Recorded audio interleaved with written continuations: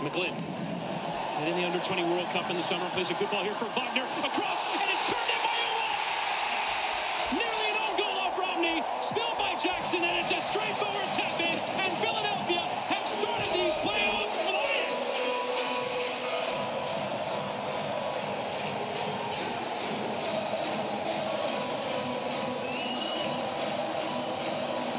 And we just talked about the overloads in the higher up the field, creating the overloads. This time it's Wagner on this left-hand side, being direct, being incisive. Quick little one-two. He finds loads of space in behind Jones, and then just picks out his pass. And then Romney, unfortunate mistake from the center back for New England, ricochets off him.